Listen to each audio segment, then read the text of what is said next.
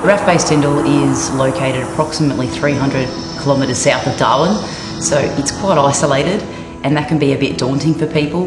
We create our own community out here and it's something that truly is special. It's a genuine want to speak to someone, say g'day, lend a hand. It's a fantastic place to live and work and I'm extremely grateful for my posting here.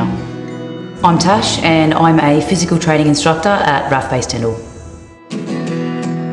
In order to get aircraft airborne, we need our personnel to be fit to fight. Uh, there has been a, a shift in the delivery of physical training now, and we need to be evolving with technology. We need to be uh, ever changing our delivery of physical training in the Air Force. We've gone down a more deliberate, specific, scientific approach, um, trying to get the best out of our people and look after our people for longer.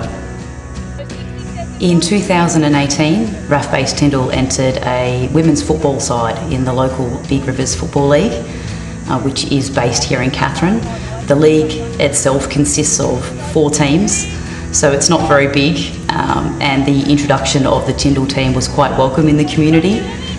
We managed to get a group of girls together, and some of the girls had never kicked a football before, um, and some of the girls were very skillful, so it was a quite a good mix and Tindal actually made the finals and were quite competitive. So we're very excited to see what 2021 has in store. Uh, one of my favourite aspects of the Tindal community is the dog to human ratio out on the walking tracks each morning and afternoon.